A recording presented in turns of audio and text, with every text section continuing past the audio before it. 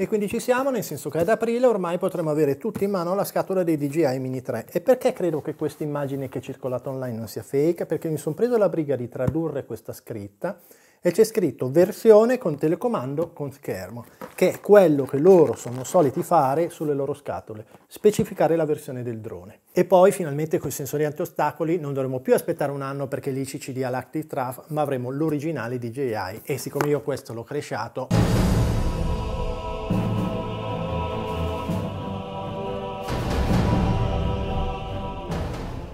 insomma sono molto contento che ci sia.